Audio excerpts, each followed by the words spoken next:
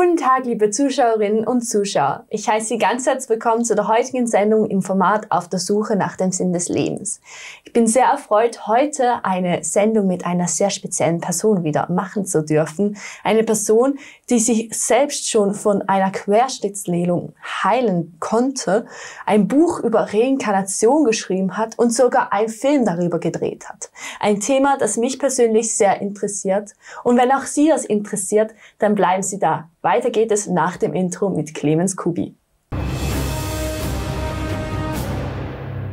Hallo, ich heiße dich ganz herzlich willkommen zu der heutigen Sendung und sehr toll, dass du hierher gekommen bist und ich freue mich sehr, mit dir heute nochmals eine Sendung über die Reinkarnation machen zu dürfen. Ja, das ist ja auch ein großes Thema und so viel wird darüber in unserem Medienlandschaft eigentlich nicht geredet, weil wir sind alle so materialistisch orientiert, dass wir eigentlich das Leben alle mehr oder weniger als singuläre Erscheinung betrachten. Das beginnt halt mit der Zeugung und endet mit dem Tod. Und was davor war und was danach kommt, ja, manche denken, oh, was kommt danach? Vielleicht das jüngste Gericht. Oh, denke ich. Oder die Himmel oder Hölle. Ich, auch, auch schwierig. äh, was hast du noch für Vorstellungen? Ja, vielleicht, ähm, man hat mir erzählt, das Fegefeuer. Uh, jetzt wird's aber ganz schlimm. Ja, oder ich bin, ich bin Moslem. Und jetzt kriege ich die 99 Jungfrauen. Aha. Und was kriegen die Frauen? Oh, ja, das geht mich nichts an und so. Also, es gibt die unterschiedlichsten Vorstellungen. Jede Kultur hat so mystische Vorstellungen entwickelt, was passiert eigentlich, wenn man diesen Körper verlässt.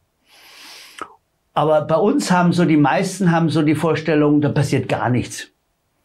Du bist einfach weg. Schwarzes Loch, mhm. fertig aus. Sag ich, aha. Und dafür lebst du? Dafür strengst du dich so an und verdienst Geld und machst Familie und dann ist aus? Du, das lohnt sich doch gar nicht.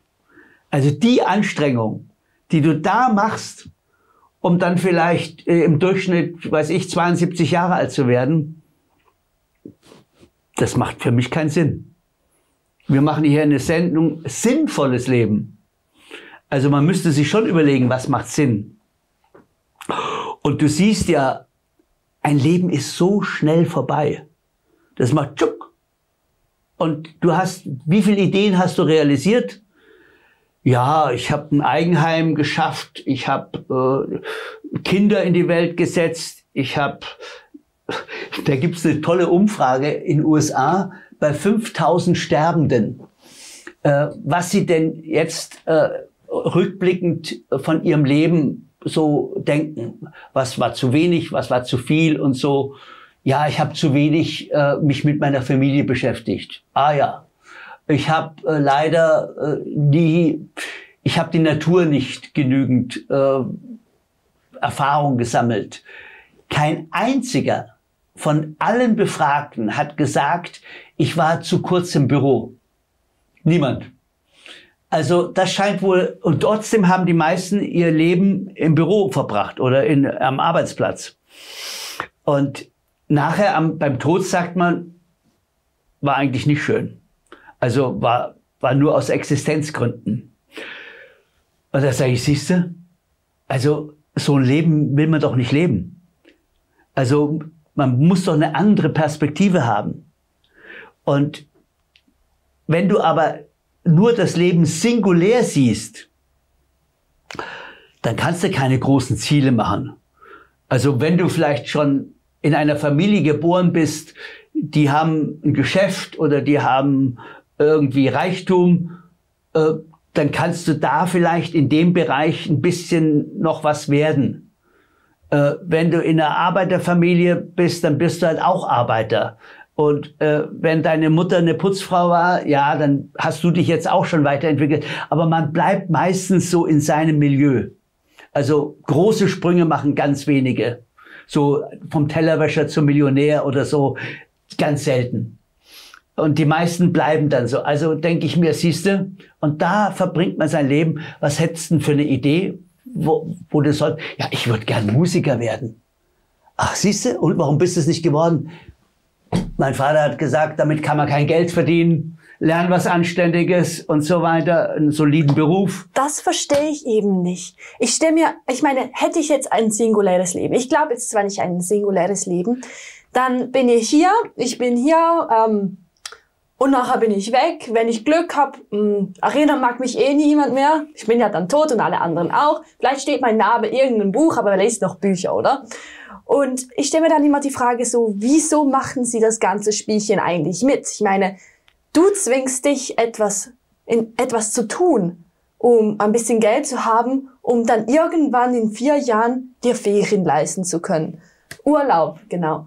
Und ähm, ich verstehe das einfach nicht. Wieso tut man sich das an? Wieso, wieso zwängt man sich in solch ein Konstrukt, um ja. etwas tun zu müssen, das man eigentlich gar nicht will? Ja. Ich meine, ist ja eigentlich das, das nervt mich ehrlich gesagt. Genau. Wenn ich, wenn ich einfach sehe, dass Menschen nicht das tun, was sie eigentlich möchten. Ich meine, was hast du schon zu verlieren? Ja, ein bisschen Hunger hast du vielleicht, aber vielleicht hast du da Menschen, die dich auch unterstützen. Ich meine, ja. wenn du deine innere Umgebung wie verlässt, dann kannst du ja eben das tun, was du willst. Ja. Das, das will ja so Sinn machen. Und ja. ich verstehe das einfach. Aber nicht. wenn dir halt gesagt wird, werd lieber Ingenieur statt Musiker, ja, dann wirst du halt Ingenieur. Weil diese Existenzangst kann man dir wunderbar beibringen, weil letztlich hast du Angst vor dem Tod.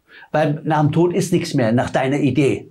Da ist eh aus. Also kann man die, dich damit immer erpressen und immer sagen, du, pass auf, entweder landest du in der Gosse und da verhungerst du oder du, was ich, äh, also man kann dir immer mit einem abrupten Ende oder mit irgend sowas kann man dir drohen. Mhm. Und dadurch denkst du, du musst die Nummer sicher machen und lernst irgendwie am besten Beamter. Da bist du unkündbar und so weiter, da geht's dir gut.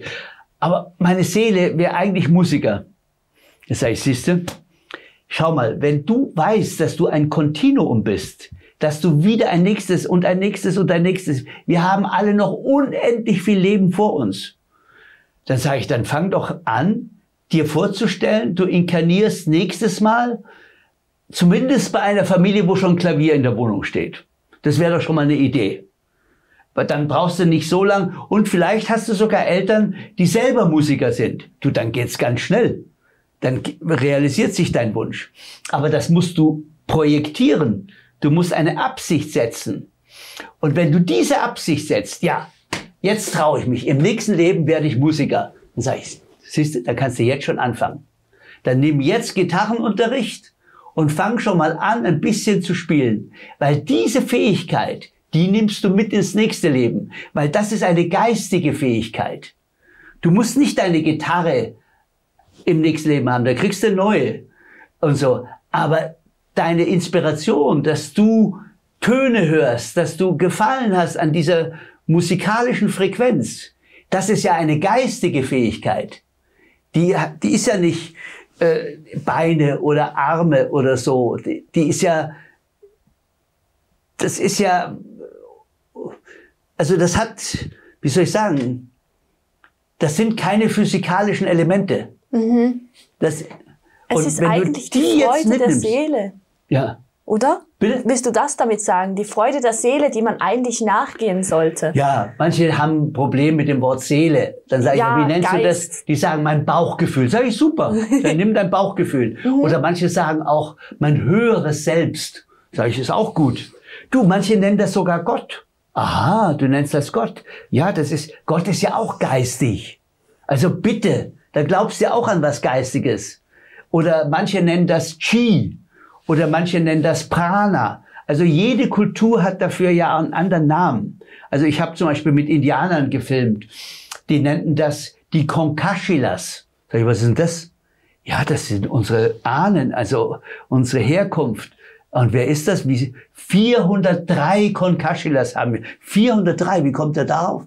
Ja, als wir, das sagen sie immer, als wir nach Amerika kamen, da gab es 403 Lebewesen dort, Tiere, Tiersorten, Tierarten. Und das sind unsere Brüder und Schwestern und die, äh, also die haben für uns sozusagen das Nest bereitet. Und da gehen wir hin. Und so. Also du, es gibt unendlich viele Vorstellungen. Jede Kultur hat dazu ihre Ideen. Du brauchst aber deine persönliche Idee. Du musst für dich wissen, wohin geht dein Leben. Mhm. Und das musst du heute projektieren. Jetzt, egal, und wenn du jetzt 18 bist, dann, äh, dann geh einen Weg, der mit deiner Seele übereinstimmt und nicht mit irgendwelchen, äh, weiß ich, Ratschlägen, die eigentlich nur auf der materiellen Ebene denken. Du, wenn du das lebst, was deine Seele will, dann geht's dir gut. Mhm. Bist auch gesund. Also eigentlich ist das gerade wie ein Ratschlag gewesen, so geh in dich selbst und denke, was will deine Seele eigentlich? Ja. Klingt jetzt so überdramatisch weit hergeholt, aber eigentlich einfach ist es wie dein das, was deine Seele eigentlich will und das, was dir dann auch Freude bereitet. Denn mhm. du, du bist hierher gekommen, um, kann man eigentlich sagen, ich komme daher in diesen Körper und ich amüsiere mich jetzt ein bisschen und da irgendwann ist dann fertig und dann gehe ich wieder und komme dann irgendwie wieder und mache dann da weiter, wo ich eigentlich stehen geblieben bin. Und es ist wie auch die Weiterentwicklung eben dieser Seele, die, die dann eben, indem sie das macht, was sie eben auch gerne möchte, um sich dann eben auch weiterzumachen. Und du kommst eigentlich nicht weiter, wenn du nicht das machst, was du eigentlich willst. Ja, schau mal, das Leben ist ein Experiment. Und nicht jedes Experiment glückt. Also, ich habe mal gehört, das Verhältnis von Reinkarnationsversuch und geglückter Reinkarnation ist nicht eins zu einer Million, ist eins zu einer Milliarde. Also tausend Millionen Mal gelingt dir die Reinkarnation nicht und einmal ja.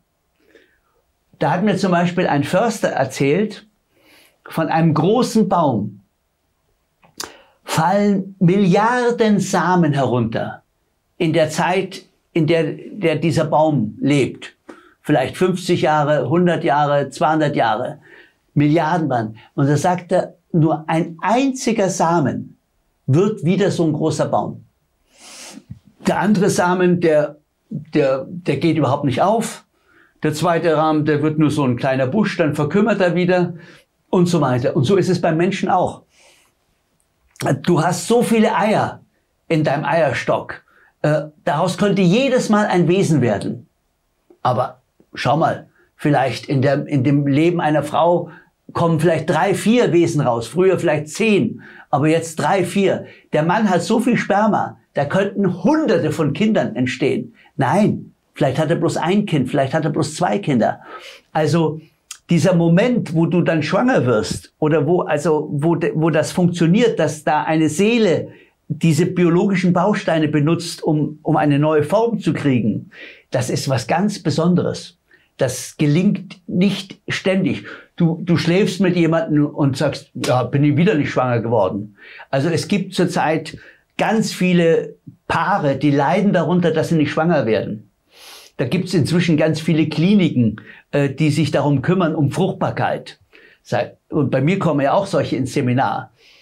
Und dann sage ich, ja, äh, wieso willst du ein Kind? Ja, ich bin ja eine Frau. Sag ich, ja. Ist das deine einzige Daseinsberechtigung, dass du ein Kind kriegst? Äh, also wenn du wirklich ein Kind haben willst, du, da laufen genug Kinder rum, äh, die niemand haben. Also das wäre kein Problem, wenn es dir nur darum geht.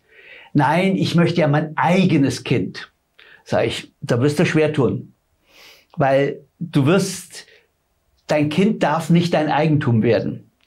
Das Kind gehört sich selber, weil es hat schon ein Vorleben, es entwickelt sich weiter. Du kannst höchstens den Service machen für so ein Kind und gucken, welche Fähigkeiten bringt's mit und die halt eben den Weg bereiten. Aus deiner Liebe für dieses Wesen äh, gibst du ihm halt, wenn es, weiß ich, Judo lernen will, dann bereitest du Judo vor und wenn es äh, Flöte spielen will, gibst ihm halt eine Flöte und so. Also du machst den Service. Mehr musst du nicht tun. Du musst nicht dein Kind erziehen, also irgendwo hinziehen, sondern die Kinder bringen ja ihre Aufgabe mit. du inkarnierst ja nicht aus Blödsinn, sondern du musst eine enorme Absicht, damit von eins zu einer Milliarde deine, dein Leben überhaupt entsteht, das Experiment. Da musst du, da musst du einen starken, äh, also einen starken Willen haben, eine starke Absicht haben, damit das gelingt. Und du siehst ja, manche Frauen, die haben ein Baby im Bauch, aber nach drei Monaten ist es weg oder Fehlgeburt. Oder manche kommen auf die Welt und sterben gleich wieder. Also da gibt es so viele Unterschiede, warum einer Inkarnation dieses Leben da nicht passt. Und das kann man ja durch untersuchen, ja. Du, also ja, ich habe ja das Kind abgetrieben, jetzt bin ich eine Mörderin. Sage ich, hast du schon mal mit der Seele geredet, die da schon in deinem Bauch war? Nee. Sag ich, ja, red doch, komm, setz dich hin, nimm Zettel und Bleistift, gib deiner Seele Stimme und red mit ihr. Weil die Seele ist ja nicht tot, auch wenn du abgetrieben hast. Du hast ja nur die Form abgetrieben. Aber vielleicht hat es schon woanders inkarniert. Oder vielleicht kommt sie nochmal zu dir oder so. Erklär der Seele, warum die Umstände äh, so waren, dass es halt keine gute Perspektive war. Dann wird die, wird es, die Seele auch sagen, du, kein Problem, äh, ich, ich probiere es halt wieder woanders oder nochmal bei dir, egal. Also das Leben geht immer weiter. Es ist nie so, dass es ist. Und ich kann auch bei meinen Kindern sehen, also ich habe so das Gefühl, erst wenn ein, ein Kind, sagen wir mal so, sieben, sieben Jahre alt, sieben, acht Jahre alt ist, da ist es überhaupt erst in diesem neuen Leben richtig drin. Also wenn du zum Beispiel kleine Kinder so mit einem Jahr anschaust, wenn die träumen, da geht ganz viel in ihrem Kopf, die Augen gehen, äh, also es träumt richtig starke Sachen. Sagst du, wovon träumt denn das? Das hat doch noch gar nichts erlebt. Das liegt da in dem Babykorb drin und äh, mehr passiert ja nicht. Äh. Sag ich, da laufen riesige Filme ab. Und zwar aus dem Vorleben und Vorvorleben und so weiter. Also die geistige Tätigkeit von so einem Neugeborenen ist genauso stark wie die geistige Tätigkeit von irgendeinem erwachsenen Menschen. Mhm. Da, das, das kannst du ja wahrnehmen. Oder die geistige Tätigkeit von einem Hund. Der ist, der, der ist ja voll geistig aktiv. Der guckt, der sieht, der weiß Bescheid, der spürt was, springt auf, träumt, äh, die, seine Pfoten gehen so, also der rennt gerade irgendwo entlang. Also geistig sind wir alle unterwegs und so weiter. Und darum, darum geht es, dass du lernst, welche geistigen Prozesse laufen in mir ab. Und deswegen das Wichtigste, was du lernen musst, um gut zu reinkarnieren, Gedankenkontrolle. Weil deine Gedanken machen das Programm. Wenn ich depressiv bin, lande ich auch entsprechender Umgebung. Wenn ich glücklich bin, lande ich in einer glücklichen Umgebung und so weiter. Also deine Gedanken machen den Programm, nach das Programm. Also musst du sehr genau überlegen, was denke ich denn schon gerade wieder? Ich denke schon wieder ganz negatives Zeug. Sag ich, stopp, stopp, stopp, stopp. Da macht man so richtig cut, cut, cut, cut, cut, cut, cut, cut, cut. Weißt du? Oder was auch eine gute Methode ist, um deine negativen Gedanken zu stoppen, atme den Atem hast du immer zur Verfügung. Bevor du wieder irgend Angst kriegst vor Krieg, vor, vor Viren, äh, vor deinem Nachbarn, vor dem Lehrer, vor deinem Chef, egal. Bevor du wieder in so eine Stimmung kommst, atme. Und stell dir vor, stell dich, setz dich parallel hin, kreuz nicht die Beine, äh, und stell dir vor, du saugst die Luft über die Fußsohlen ein. Und nur hier unten leg die Hand auf den Unterbauch, sodass der Daumen in deinem Bauchnabel liegt. Du weißt, wo du deinen Bauchnabel hast. Ja, hier. Und dann kannst du ja auch, wenn du da einen Gürtel hast, mach den mal auf. Und jetzt atme nur in die Hand. Damit die Hand sich bewegt. Die, die Schultern bleiben ruhig. Die Brust bleibt ruhig, nur in den Unterbauch bis der Luftballon aufgeblasen ist und dann öffnest du oben das Ventil. Und das Ausatmen darf viel länger dauern als das Einatmen. Jetzt saugst du die Luft wieder da unten herein, dann bist du nämlich schon unten. Und dann wieder. Und du merkst, deine Gedanken, die du vorher irgendein Wirrwarr hattest oder negativ, die, die, mit dem Ausatmen gehen die weg. Und dann kannst du wieder frisch anfangen und sagen, aha, gut, Wetter ist schön, dies ist gut, ich bin noch nicht verhungert, äh, ich habe auch noch ein Dach über dem Kopf. Kannst du wieder dich neu aufbauen. Und bevor du in so einen so einen Tunnel gerätst, atmen. Oder du sagst cut, cut, cut, cut, cut, cut, cut, cut, cut. Oder so, weißt du? Oder zum Beispiel, was wir machen, wir arbeiten hier mit den Karten. Äh, wir erschaffen uns ein Mantra. Mhm. Was ist das? Oh, und also eine Affirmation. Also ein, ein, ein Slogan, ein mhm. Werbespruch. Und da gibt's dann zum Beispiel hier gibt's die orangenen Karten.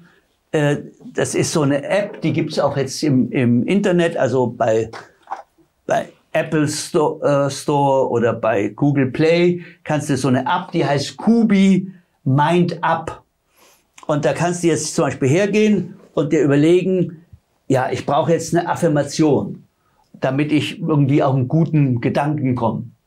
Und dann nimmst du hier die orangenen Karten dafür, da steht auch Affirmation, und dann ziehst du irgendwie so irgendeine Karte. Und dann schaust du, was da steht. Ich lobe dankend die Allmacht und meine geistigen Helfer. Aha. Sagst du, was soll ich damit anfangen? Kannst du hier nachlesen. Äh, Nummer 59 zum Beispiel. Da steht, also nochmal, ich lobe dankend die Allmacht und meine geistigen Helfer. Ich gedenke lobend und preisend meiner geistigen Helfer, meiner Ahnen und lieben Verstorbenen für ihre Präsenz. Weil die sind ja nur körperlich gestorben, nicht geistig, also sind sie präsent. Ich danke für Ihre hilfreichen Worte und für das, was Sie sonst noch alles für mich tun, ohne dass ich mir dies immer bewusst werde. Meinem Glaubenssystem entsprechende Idee, meinem Glaubenssystem entsprechende lobe und preise ich meinen Gott, weil jeder hat vielleicht einen anderen Gott. Der eine hat Allah, der andere hat Buddha, der dritte hat eben irgendwas. Also es gibt ja in jeder Kultur einen anderen Begriff mhm. für diese geistige Kraft. Man kann nicht sagen, du darfst nur an unseren christlichen Gott glauben. Das wäre ja schon wieder eine Vergewaltigung. Oder also Gott, Allah, mein Buddha, die Buddha-Natur oder die äh, Konkashilas und so weiter. Oder wie auch immer ich die mir innewohnende Allmacht bezeichne. Also jeder hat in sich diese Allmacht. Also du bist immer verbunden mit dem ganzen Universum, aber nicht über deine Ratio, sondern über deine Intuition. Mhm. In deiner Intuition kommst du an diese Weisheit heran. Und der musst du Sprache geben. Der musst du den Stift in die Hand drücken und dein Arm leihen und lass sie schreiben. Mach das immer alles schriftlich. Und dann wirst du sehen, boah, was da steht, das ist ja toll. Das ist ja was ganz anderes, als ich gedacht habe. Siehst du? Und jetzt hast du den besten Ratgeber in deinem ganzen Universum und danach richtest du dich, weil jeder Mensch hat diese Anbindung an die Weisheit des Universums. Mhm. Also eigentlich der innere Reiseführer, der sich nur nach seinem Willen richtet.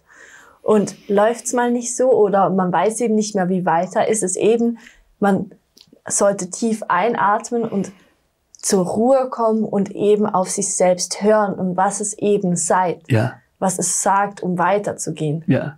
Manche hören auch ihre Seele, die sagt, stopp, mach das nicht und man macht es trotzdem. Mhm. Und dann, pff, also ich habe schon das dumme Gefühl gehabt, ah, ich fahre heute nicht dahin. Und dann bist du doch hingefahren und sagst, siehst du, das heißt, du hörst deine Seele, du hörst aber nicht auf sie. Mhm. Und das ist gefährlich. Du hast in dir den Kompass und den musst du aktivieren und mit dem musst du täglich arbeiten. Bauchgefühl. Ja. Ja. Oh. Gut. Ja. Aber was ich dir auch noch so stellen wollte.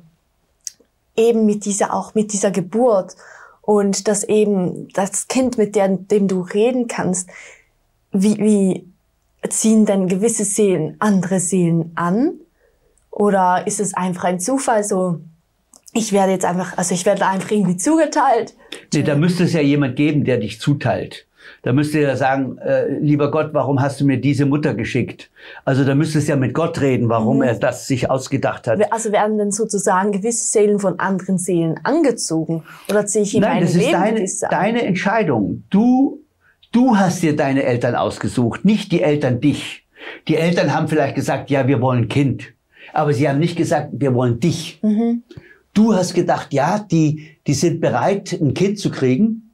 Also das ist eine tolle Gelegenheit. Einen von den beiden kenne ich vielleicht sogar. Wusch, gehe ich da rein. Und deswegen gibt's immer Papakinder oder Mamakinder. Kann ich dir noch sagen, ich will dich? Kann ja. man als Mutter sagen, ja, ich will diese, diese Persönlichkeit, dieses, also, diese Seele? Wenn, wenn ich zum Beispiel diese Fruchtbarkeitsberatung oder Begleitung mache, dann geht's darum, wenn du schwanger werden willst oder das Pärchen möchte ein Kind haben, dann sage ich, rede mal mit der Seele, wer überhaupt bei dir inkarnieren möchte. Wer, wer, wer schwebt denn da und wartet darauf, dass ihr hier so einen Liebesakt habt und kommt dann? Also gib diesem Wesen Stimme und frag, warum es bis jetzt noch nicht gekommen ist. Da gibt's Gründe. Und wenn diese Gründe bereinigt sind, dann bist du schwanger. Und du, das geht manchmal zack. Das ist erstaunlich, mhm. wie schnell das geht. Boah. Denkst du, es gibt so etwas wie eine Art Soulmate, also Seelenverwandten, Seelen, die miteinander verbunden sind oder sich in einem Leben gern immer wieder treffen? Ja, ganz sicher. Also äh, viele haben ja dieses Erlebnis, ich treffe den, Liebe auf den ersten Blick. Den kenne ich. Mhm. Obwohl du kennst ihn vielleicht erst zehn Minuten. Aber du hast das Gefühl, das ist mir so vertraut. Sag ich, siehste, ihr kennt euch tatsächlich. Aber ihr habt jetzt eine neue Form. Mhm. Deswegen erkennst du den nicht. Weil er jetzt plötzlich, weiß ich, äh, andere Haarfarbe hat und anders ausschaut und andere Klamotten anhat und so weiter. Aber wenn du nicht auf der äußeren materiellen Ebene hängen bleiben würdest, dann würdest du in der Nacht schon träumen, wer das ist. Du würdest sagen, oh, jetzt sehe ich Bilder von dem und so weiter. Ja, wir waren ja schon mal zusammen. Mhm. Da war es ja mein Papa oder ich war sein Dings und das. Also jede Beziehung hat ja ihre Ordnung. Und sagst du, ach, ist das irre. Ja, das muss ich ihm morgen erzählen. Und dann sagt er, ja, du spinnst. Aber nein, ich bin nicht, wir kennen uns. Und dann so manchmal, also vor allen Dingen Männer tun sich da schwer, so ihren Materialismus zu überwinden. Frauen sind da schneller beide dann, mhm. weil Frauen haben mehr Kontakt zu ihrer Seele, also sie sind intuitiver, weil sie nämlich nicht so wie Männer erzogen werden, die immer alles so rational äh, entscheiden müssen. Mhm. Also eine Frau kann eher mal sagen, du Schatz, ich habe da so ein Bauchgefühl. Das sollte man nicht machen. Und dann sagst du als Mann, aha, du hast da so ein Bauchgefühl. Naja, wenn du meinst, es ist nicht gut, dann, dann lass mal das. Mhm. Und wenn du als Mann sagst, du Schatz, ich habe da so ein Bauchgefühl, Weißt du, was du dann, was du dann für eine Frage kriegst? Kannst du das begründen? Ja. Und dann bist du schon wieder in der Ratio. Mhm. Und dann musst du als Mann dich bemühen, immer eine, eine gute Begründung zu liefern.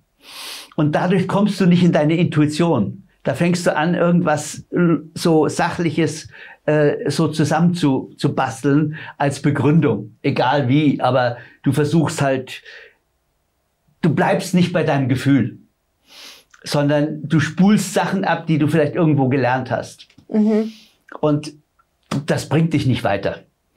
Und äh, deswegen habe ich auch, ich würde sagen, 75 Prozent weibliche Seminarteilnehmer und nur 25 Männer. Äh, einmal hatte ich ein Seminar, da war äh, ein Mann mehr als Frauen drin. Das ist aber sehr selten, mhm. weil bevor sich Männer zu ihrer Seele bekennen, müssen sie schon irgendwie über ihren Schatten gesprungen sein. Mhm. Eine Frau kann sagen, du, das ist mir ganz klar. Natürlich habe ich eine Seele und meine Katze auch und dies auch und so. Also weil sie nicht so wie der Mann in so, ein, in, in so Sachzwänge hineingedrückt werden. Und da meine ich, da sollte der Mann sich noch ein bisschen entwickeln. Der sollte auch langsam verstehen, dass er auch ein geistiges, seelisches Wesen ist und mehr auf sein Gefühl achten und so. Weil stell dir mal vor, man konnte eigentlich bisher immer nur Männer in den Krieg schicken. Weil Männer sind dann abgespalten von ihrer Seele und deswegen können sie töten. Ja. Aber eine Frau zum Töten zu überreden, ist schwieriger als ein Mann. Weil eine Frau, die sieht dann, oh, ich kann doch das Kind nicht ermorden. Ich kann doch nicht die andere, die zivile, ich kann doch nicht andere Leute ermorden. Also deswegen hat man Frauen nicht gerne als Soldaten gewollt, weil dann denkt man, mit denen kann man keinen Kampf gewinnen. Mhm. Die sind nicht so. Ne? Und das hat dieses Ungleichgewicht zwischen den Geschlechtern produziert und das müssten wir ändern. Ja. Also der Mann sollte von der Frau lernen und natürlich ist die Ratio super. Ich bin nicht gegen die Ratio. Die, aber wie Einstein schon sagt, die Ratio muss der Intuition dienen. Also du hast eine, hast eine Vision und die Vision kommt ja aus deiner Intuition, mhm. also aus deinem Gefühl auch heraus. Und jetzt brauchst du natürlich die Ratio, damit deine Vision sich realisiert. Ja. Also da brauchst du ja richtig, musst organisieren können und dies und das. Da ist die Ratio super. Aber wenn die Ratio sich aufspielt als die Allwissende und unterdrückt die Intuition, ja, Intuition ist schon gut, äh, ist so Privatsache. Äh, äh, ja, aber weißt du, wir machen das nach Plan und so, wir gehen da so, das weiß ich, das und so. Weißt du, da sagst du, nein, du musst, du musst dein, die Hierarchie des Seins umdrehen oben steht die Intuition und die Ratio dient. Aber momentan denken wir, die Wahrheit ist bei der Wissenschaft. Ja. Und die Wissenschaft ist ja stolz auf die Ratio. Also die Wissenschaft sagt immer, bei uns geht alles logisch korrekt vor sich. Oh, wir sehen ja, was da für ein Blödsinn bei rauskommt. Aber äh, weißt du, das, wir, aber das kommt halt aus dieser männlichen Vorstellung. Wir haben die Sache im Griff. Also wir können bestimmen, sozusagen aus unserem Wissen heraus, wie die Dinge laufen sollen. Und wie laufen sie? Wir haben Krieg, wir haben Katastrophen, also es funktioniert ja nicht. Mhm. Also könnte ja, könnte man ja sagen, Leute, ihr Männer, dankt mal ab, aber wir haben natürlich inzwischen Frauen, die sind noch härter wie Männer. Also ich nenne das so Krawattenfrauen. Ja. Ja, also damit die Karriere machen können, die müssen ja die, die Männer noch links überholen. Äh, damit sie, die müssen ja noch mehr in, der, in dem Fahrwasser laufen. Und also richtig so eine Seelenkultur haben wir noch gar nicht. Mhm. Und es ist toll, wenn du dich dafür einsetzt, mit einer Sendung, wie wir jetzt gerade gemacht haben. Ja. Dann geht das auch weiter. Und ich hoffe wirklich, dass durch dieses Dramatik, die jetzt läuft, mit Krieg und mit äh, mit Covid und so weiter. Also, dass dadurch schon viele aufwachen und merken, mit dem Konzept werden wir nicht glücklich. Mhm. Das geht nicht. Also müssen wir jetzt wirklich darauf besinnen, was will eigentlich unsere Seele? Ja. Will unsere Seele Krieg mit Russland? Sagen wir, seid ihr bescheuert?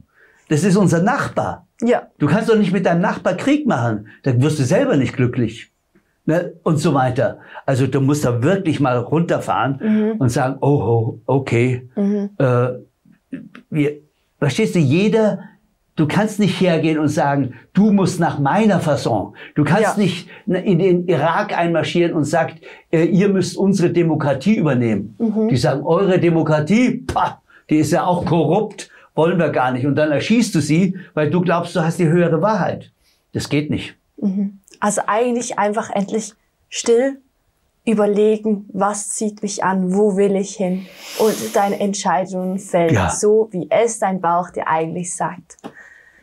Schönes Schlusswort. Ja, danke dir. Ich finde, du hast wirklich das sehr schön erklärt und ich konnte viel von dieser Sendung mitnehmen. Ja, ich hoffe mal, dass es irgendwie so geht. Ja, wir reden hier natürlich so querfeld ein, aber man kann das auch alles systematisch genau lernen. Man kann bei mir ein Seminar machen, mhm. man kann Buch lesen, man kann einen Film anschauen. Auf der Webseite clemenskubi.com gibt es so viele Möglichkeiten, um sein Bewusstsein in diese Richtung weiterzuentwickeln. Äh, nimm einfach das, was dir deine Seele sagt, ja. aus dem Bauchgefühl äh, und entwickel dich weiter. Alles Gute. Ich danke dir vielmals. Liebe Zuschauerinnen und Zuschauer, ich hoffe, Sie konnten auch so viel wie ich aus dieser Sendung mitnehmen. Und ich wünsche Ihnen alles Gute und bis zum nächsten Mal. Adi miteinander.